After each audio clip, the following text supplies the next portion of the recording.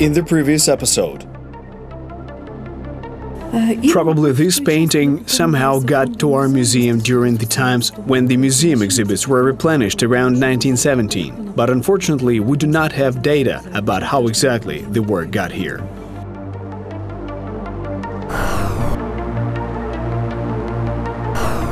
Five etchings of Rembrandt, paintings of Jose de Ribera, Aivazovsky, Turchak, and the Dutch painting. The work has been on the list of paintings transferred abroad.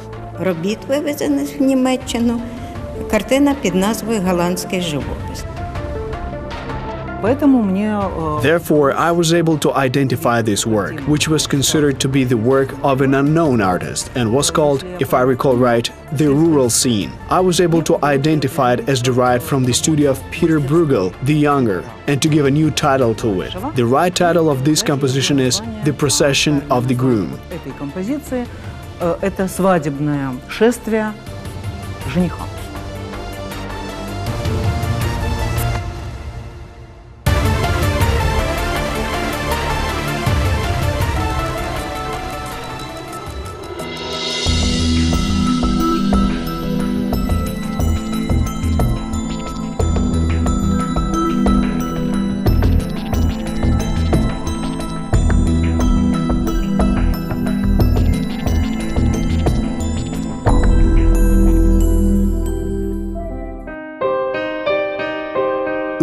Art Gallery. Today life is raging around this building, and a few centuries ago all the talks and sounds were fading away in this place. Located in the place of the old Polish cemetery, the church has experienced many ordeals back in the times of its construction. It was being built for a half a century and didn't serve as a holy place for even a century, but it has been functioning as an artistic shrine for almost 50 years.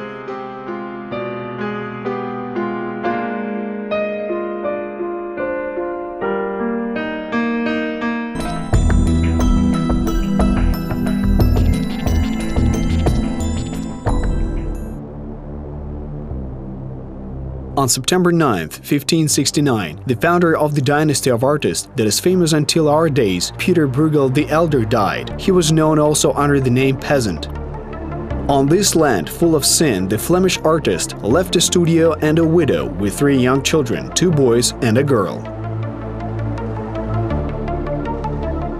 When Peter Bruegel the peasant died, his eldest son was only five years old. But the young son of the peasant Bruegel, Jan, was really a junior, so he virtually received nothing of his father's heritage. However, he went traveling to Italy and then became quite an independent artist, who was nicknamed Velvet Bruegel. But that was later, and then it was the widow who bore the burden of upbringing of three children. But in 1578, a new trouble came to the Bruegel family. The mother died. According to researchers, their grandmother became the first teacher of future outstanding artists. Who in turn was a widow of a very famous artist called Peter Coecke van Aelst. After the death of their mother together with their grandmother, the children moved from Brussels to Antwerp. Here the elder son of the peasant Bruegel continued the work of his father. After studies in Brussels and then in Antwerp were finished, he headed this huge workshop, which was mainly dealing with copies of Peter Bruegel the Elder. They were incredibly popular on the Flemish art market at that time на фламандском художественном рынке. First, he copied his father's paintings, then began to make own works. Peter Bruegel the Younger was a very interesting artist, and he came up with several topics himself. For example, in the Hanenko Museum, there is a painting of his name, which is called Return from Kermis, that is, from the celebration party and it is considered that this plot was invented by this artist himself. At the dawn of his working life, Peter Bruegel the Younger made paintings with scenes of hell, for which he was given his nickname Hell Bruegel. By the way, his father was nicknamed Peasant for depicting the peasant low life instead of the aristocratic high life.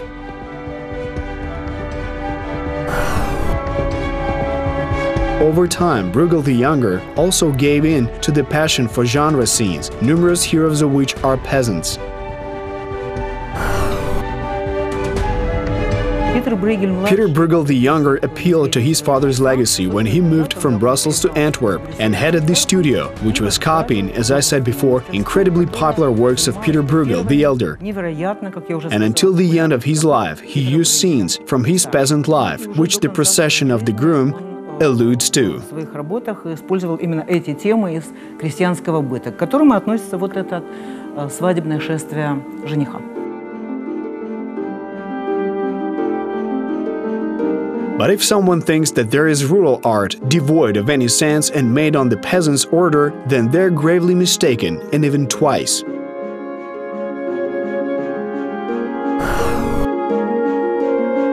Э, Usually, one who is not wise in this sphere believes that peasant Bruegel painted pictures from rural life for rural residents only. But this is completely wrong, and even contrary to actual facts. He painted these works for intellectuals and humanists, and their main topic was regarded as models of behavior в них шла о том, о моделях поведения. да. All these scenes of peasant life in the works of both Peter Bruegel the Elder and his son Peter Bruegel the Younger were associated with certain patterns of behavior, regardless of whether they were appropriate or not. определенными моделями поведения, которым надо было следовать и не надо было следовать.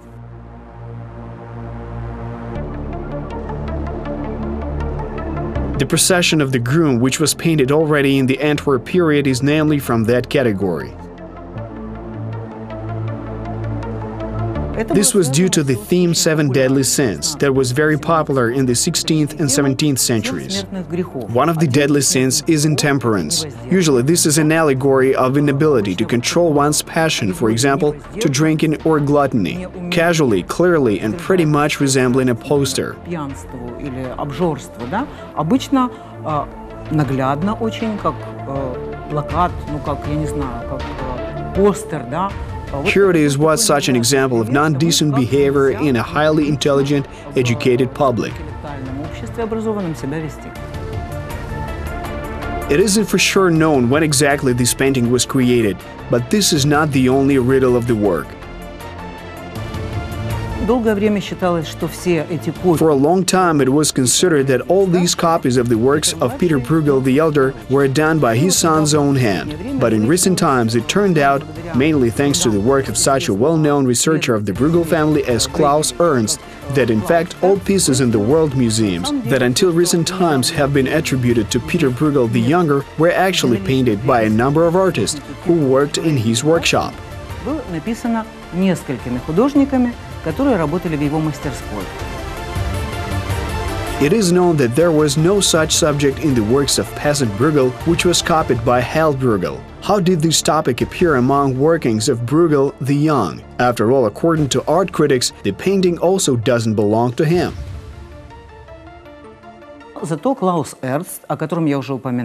But Klaus Ertz, whom I mentioned earlier, wrote that one of the contemporaries of Peter Bruegel the Elder, Martin van Cleve, very often depicted wedding subjects, and the workshop of Peter Bruegel the Younger copied not only paintings of his famous father, but also works of Martin van Cleve, the contemporary of Peter Bruegel the Elder. Питера старшего, вот этого Мартина Ван but the riddles of the Uman painting don't end there either. Researchers know for certain that Martin van Cleve, whose works were copied by the workshop of Hell Bruegel, produced paintings in parallel subjects. On the one hand, he painted a wedding procession of the bridegroom. On the other hand, he created a wedding procession of the bride and the ceremony of the marriage feast. Probably the parallel work, The Procession of the Bride, exists somewhere because he made a series of works on the theme of bridal processions.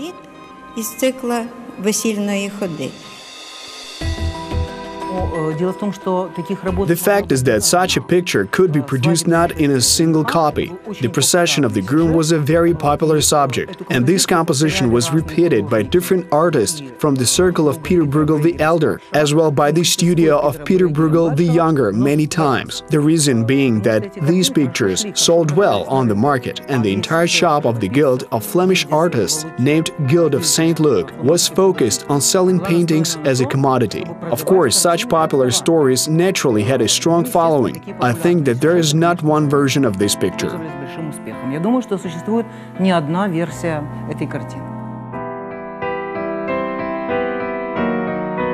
To put an end to the story of the authorship of the Uman painting, we need to undertake an extensive study and the judgment of Western experts in the field of Dutch painting, which would take into account the notion of Klaus Ertz, the researcher of the Bruegel family. Basically, the problem of attribution of Ukrainian paintings, basically provincial ones, is the result of the Ukrainian colonial past. The past which in some way contributed to the gathering of a trove of artistic masterpieces in our country.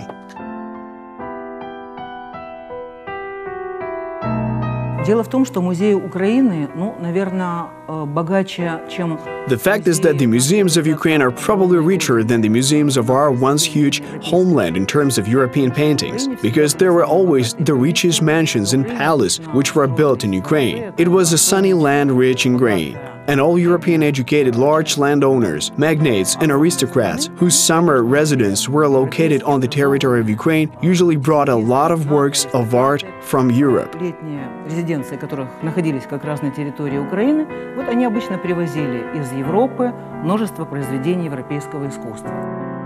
The present Varvara and Bohdan Hanenko National Museum of Arts is a mansion that belonged to the manufacturer, archaeologist, and philanthropist Bohdan Hanenko.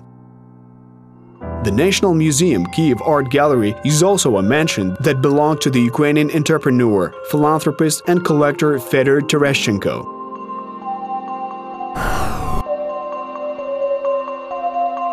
The Odessa Museum of Western and Eastern Art is also located in the palace of the Moldovan merchant Alexander Abaza.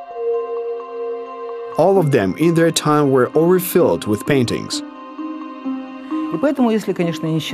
Therefore, with the exception of the Hermitage, of course, and probably the Pushkin Museum, museums of Ukraine have much richer collections of European paintings. Strictly speaking, the notorious Russian Hermitage owes its artistic wealth to Ukraine and its museums. Украина всегда была провинциальной частью огромной империи, Ukraine has always been a provincial part of a huge empire, and unfortunately, the philosophy of culture in the empire was that all the investigative forces and all the most significant parts of the collections were taken to the imperial center, to the capital, to Petersburg or to Moscow. Very often, Ukrainian museums were even literally robbed for this reason. I can recall a lot of works from our collection which were found in the museums of Moscow and Leningrad and have have never been returned to our museum. The sole Cultural Center has to be in the capital, and any place wherever else is a backwater district. This is the cultural concept of any imperial and totalitarian country. While in a democratic country, culture exists everywhere, in the small towns of Holland, Germany. Just take a look at Europe. Each town has its beautiful museums, high tech, with a research center, and with an excellent storage system.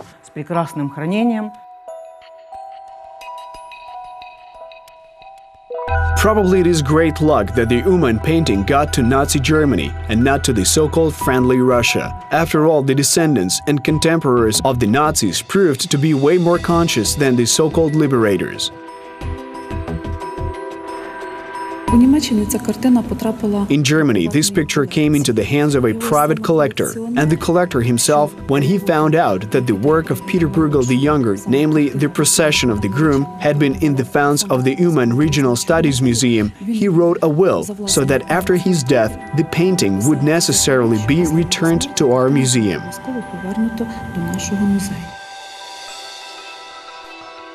During its ordeal in Germany, the work was slightly damaged and then the Germans once again confirmed that they were ready to redeem for the Nazis, and the Ukrainian side did not even have to embark upon the restoration.